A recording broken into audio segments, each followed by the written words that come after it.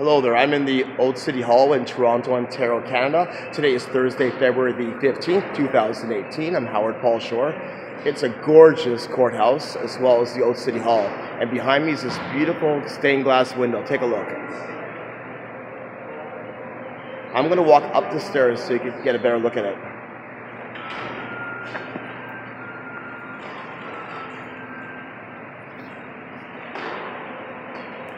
Pretty cool, huh? So the next time you're in Toronto, Ontario, Canada, please come and visit the Old City Hall. It's really nice. You could do a self-guided tour here and check it out. Thank you so much and have a great day. Bye-bye.